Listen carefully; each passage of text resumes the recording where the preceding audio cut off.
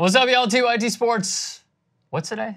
TYT? Oh, what? I missed it. was, was I not supposed to say TYT? Now you can say whatever you want. Oh. Today's Wednesday. Wednesday. Oh, you didn't know what day it was. I didn't. Yeah, no, I'm Rick. man. That is Robert Littal, CEO of Black Sports Online. Before we jump into Jason Whitlock not knowing anything about anything, uh, remember that we are going to be live streaming every Monday, Wednesday, Friday at 11:30 a.m. at youtube.com slash TYT Sports. We will be taking all of your questions and just showing you a thing or two about the other side of sports media. Okay, we jump into this. Jason Whitlock, probably the last person I want commenting on Serena Williams, yet he did it. And here's part one of many of what he had to say. she had again to me this is Draymond Green, this is Charles Barkley, this is a player that's a bit too emotional and and and, I just want to be clear here in terms of of there's plenty of players, Nadal from McEnroe to everybody. They've all been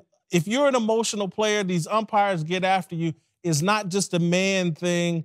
And so I- I sometimes think we overlook incompetence and go hmm. straight to personal attack. Hmm. Oh my God, that person wasn't incompetent. They attacked me because I'm a woman or because I'm black or because I'm Latino. Sometimes it's just incompetence. When I hear that, and we're gonna get into more in a second, he's basically saying that she's playing the victim card, Correct. right? Correct. I, I would I would say or overreacting by immediately going to race Right. as sexism. Yes, correct. So Jason Whitlock then continues on. Take a look. I'll say this Serena is arguing that she's fighting for women's rights and that part of her stance here is so that women get treated like men. What are we really fighting for? Are, are- we fighting so that we can make all the mistakes and do all the bad things others do? And if that's the case, is that really a fight worth having? And so Martina's point was like, it's it's like when your kids get in trouble and they say, "Well, Jimmy and them they smoke weed. You just caught me with a beer." And it's the pointing all over to every other kid and blah blah blah. Every other kid's doing this. That's something that you're supposed to grow out of by the time you're in your late 30s. See, this is where we start to not split hairs, mm-hmm. but have a clear divide. Yes. He referenced tattletaling. Yes. This is a huge problem that, regardless of race, women as a whole mm-hmm. have had to fight for. I have seen Roger Federer yell at a chair umpire, Don't you effing talk to me. I have seen Rafa Nadal go back and forth. Every highlight we see of John McEnroe. And why he's propelled to the status is not only did he win, mm. but he also was vicious with chair umpires when he would say, That was on the line! Answer my mm. question! Like he would yell and mm. scream at these chair umpires, and yet Serena calls this one chair umpire a thief, and she gets penalized not only a point because of the coaching that went on, but then an entire game. The, the question really is, if you just boil down to it, is in this particular instance, if Serena was a man, if she was a Serena Williams, Okay.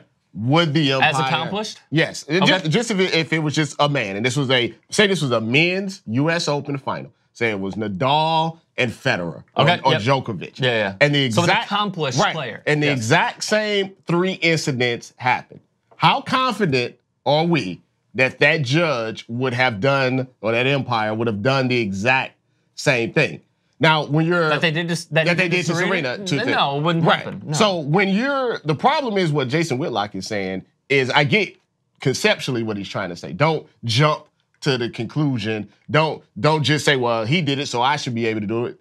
The the, the real problem is this is when you're in a society that always jumps to conclusions about you, it's very difficult to all of a sudden give other people the benefit of the doubt. You jump to conclusions to me about my race, my gender, uh, my sexual orientation. Now, all of a sudden, when someone does something to me, it's, well, let's see, you know, let's not jump to conclusions Right. about why this is. Let's just assume that they did the right thing or they would have done the same thing. We don't know that, though. Right. We don't know that. But again, my main problem is, and I think he lives in a bubble somewhat, or at least he's putting out that sort of perception of the place that he lives mentally, is that, well, the men get away with it, but they shouldn't be able to get away with it, and the women don't get away with it, but they shouldn't tattletale about the men mm. getting away with it. It's so much more than that. That that is such a small-minded mm. way of thinking about all of this. And yet we continue with more of Jason Whitlock. this whole thing of oh well McEnroe and Jimmy Connors and this guy and that guy did it, and, and so I'm not, and this is where I get crossways with a lot of people about my point of view, and and this will be a hard statement. I'm not fighting to do the bad things white guys do. That's not my fight in life. I, I'm actually fighting to represent my family and the people I care about, and to represent, quite honestly, God in a way that brings honor to my family and the church that I grew up in. All right, I'm glad that he brings that up. It's great. It's sort of like when uh, Jefferson Beauregard Sessions has to quote the Bible on why illegal immigrants, aliens, are coming into this country. So here's what Jason Whitlock wrote in 2009 for those that did not see our clip last week. There's an inescapable truth about Serena. She's an underachiever. Unfortunately for us, she lacks the courage to fulfill her destiny. She'd rather eat half-ass her way through non-major tournaments and complain she's not getting the respect her 11 major championships resume demands. That's when she won 11, of course. She complains about being ranked number two in the world when she's not bitching on Twitter on her blog about new rules that forbid Wimbledon players from eating in the locker room. Seriously, how else can Serena fill out her size 16 shorts without grazing at her stall between matches.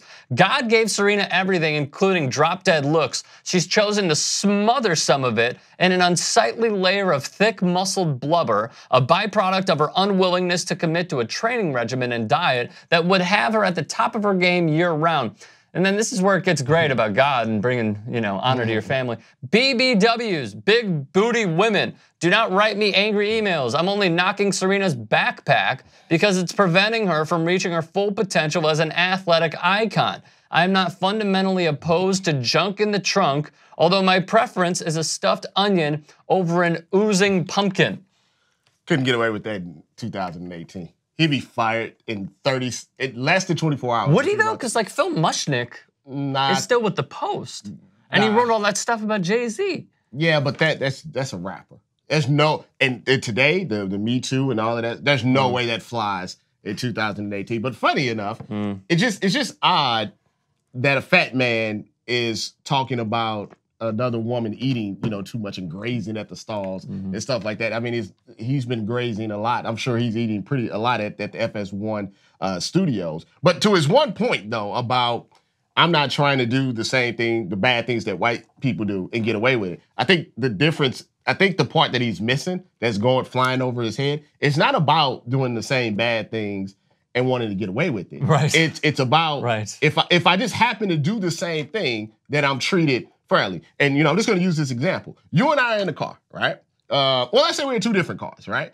And we both get pulled over, hmm. and we both have a little weed in the car, hmm. right? Hmm. Can I be comfortable in that I'm going to be treated the same by the police that you will be? Honestly, I'm not.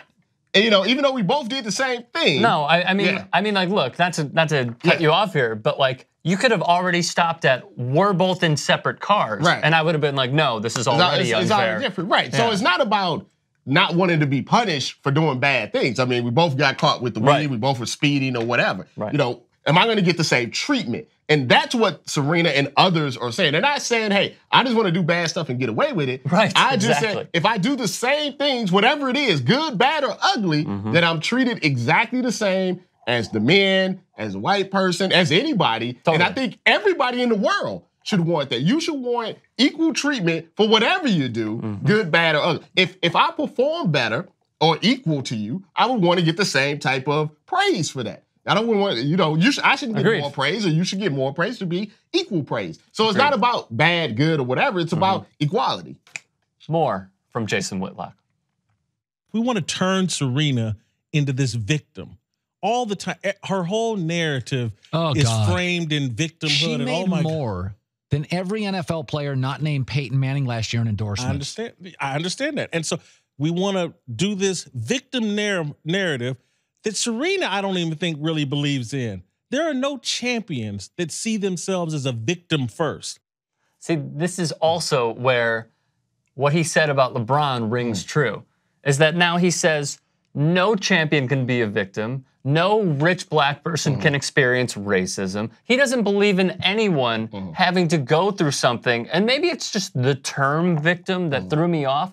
But in his eyes, being the anti-black black guy on Fox News Corp, mm-hmm. who, by the way, at one time wrote about Colin Kaepernick, graphic A, while Brooklyn Dodgers owner Branch Rickey strategically chose Jackie Robinson to break baseball's color barrier, Mr. Kaepernick's protest came seemingly out of nowhere before the 2016 season. The mixed race quarterback, who'd been adopted by a suburban white family, was known mainly for his chiseled abs, tattooed body, and a touchdown celebration involving him kissing biceps. He then also went on to say this There's a reason I call them the black KKK. The pain, the fear, and the destruction are all the same. Someone who loves Sean Taylor is crying right now. The black KKK claimed another victim, a high pro, uh, profile professional football player with a checkered past this time. This is the sort of stuff that we are dealing with when we talk about Jason Whitlock. He is the anti uh, rights guy. He thinks that a person like Serena Williams or LeBron James cannot go through adversity and just use a label that is to be used when someone is oppressed or put down. That is called victimness. So, again, considering that this man continues to collect a check from Fox News Corp, it would not surprise me if he opened up for Tucker Carlson in the next five years because this is simply what he does. Well, I, I've, I've said this before. If you're a black person that is willing uh, to go on TV, radio, whatever it is, print, and talk bad about black people, there'll always be a job for you. Because What's the dude's name on CNN? oh, I know what you're talking Paris about. something? Yeah, yeah, yeah, Yeah, yeah. he's that guy. He's that guy. Can someone help? Paris Right. something. He's Because that guy. The reason why is simple because a lot of times what the white people want to say on these shows, they can't because they know if they actually verbalized it Mm. and said it, then they get fired. You know, for good reasons. But if you get a black guy to say it, then all you gotta do is be like, and I'm not saying Colin Cowherd is, you know, racist or anything like that. I just say, but did you see I just kind of, mm-hmm. Yeah, she made more money than they could co-sign this narrative, whatever the narrative narrative they want to put on there. Isn't that the agenda, though? Yeah, that is the agenda. That's Now- the agenda. They don't want him Yeah. to put up a fight. Yeah, Jason Whitlock wasn't always like this. Uh, some of his dealings with ESPN, I think, turned him that way. Oh, completely. Uh, Yes. But you know the the Well, also a check. But if yeah, but the thing about it is, if you ask people in in media, you know, would you hang out? Would you trust? Would you? What do you think about Jason Whitlock? You're not Mm-hmm. going to get a lot of positive things. So if his if his goal is to you know make his church, you know, see him in a great light. Well, Mm-hmm. how does your church feel that you feel like you know you're the token, you know, Negro that is you know shucking and jiving on TV against black people all the Mm-hmm. time? Should the church feel good about that? I'm sure they do. Well, Jason Whitlock would continue, and he mm. will continue. Let me set this up real quick. Jason Whitlock said that there is a conspiracy betw- behind tennis, Serena Williams, and her father, Richard. Take a look. This was when he was at, with ESPN, and pardon the interruption. Plus, she's playing her sister next. I think Richard will make the call on that. She'll get a cakewalk. horrible horrible like I, I understand and by the way at that time i'm pretty sure venus won more at the time that that, that, that yeah. was released Early in their career, yes. to say that richard their father is dictating who wins when is ridiculous and asinine ill-informed uh, misinterpreting everything that we follow with sports and to use them as a prop for your own agenda is flat out awful. I'm glad we brought that up. It's flat out awful. All right, so let us know your thoughts. Jason Whitlock continues to clown himself, and it does so mainly with Serena Williams and LeBron James. If you made it to the end of this video, mazel tov. If you want to see more, hit the bell and hit subscribe. Why don't you?